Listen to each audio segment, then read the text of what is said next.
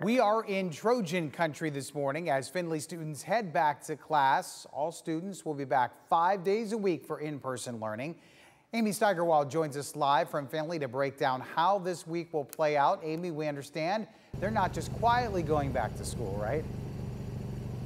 No, Tim. Today, uh, there will be a celebration coming up at 8 a.m. where staff and some students will get in the spirit for the upcoming school year. I'm joined right now by Findlay Superintendent. Thank you so much for waking up with us. Um, walk me through a little bit of how this week will play out.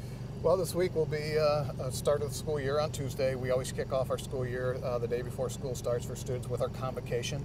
Uh, but the rest of the week will be a normal week for our students. We're excited to have uh, our students back. We're excited to get our staff together today, kind of as a pep rally to kick off to uh, the school year. A pep rally for staff. You don't hear that quite often, but it's nice. And we'll introduce our new staff. We have quite a few new staff members. Uh, we'll recognize some outstanding teachers who will receive awards today, but it's just a nice way to kick off the school year. And I imagine having those teachers are excited to have students physically back in the classroom. Yeah, I think so. I think everyone's anxious and nervous, but uh, excited to get the year started. And walking me through how the planning process was for this year, it couldn't have been easy. It, it was not easy, and, and, we actually closed two of our elementary buildings, and we've added two eight modular classrooms uh, to two of our buildings. So it's been a lot of things, you know, not just COVID, but planning for a new school year with a lot of changes in the district. But uh, we have an outstanding staff, outstanding teachers, outstanding students, and we live in a great community, and I'm sure uh, we're ready for, for the school year to kick off. Awesome. Well, best of luck to you guys today and tomorrow as you welcome all students back. We have more information right now on WTOL.com if you're a Findlay parent